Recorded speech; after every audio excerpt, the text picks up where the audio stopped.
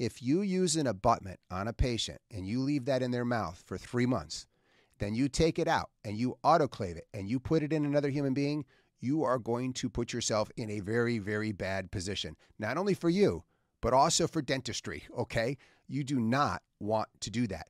It is a single patient use. If you take it out and you want to put it back in that patient, that's fine. It's their it's their it's their biofilm and plaque and everything built up on the surface. That's theirs, okay? But you don't want to try to clean that and use it on someone else. That's a no-no. So what products have this indication? Well, all you have to do is turn the package over, and right on the back, it'll have a two with a, sla- a circle and a slash through it. And if it does, that's single patient use only.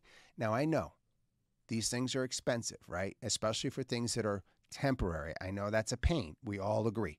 But the fact of the matter is, is that that's part of doing business. And when you've got the parts that say they're single patient use,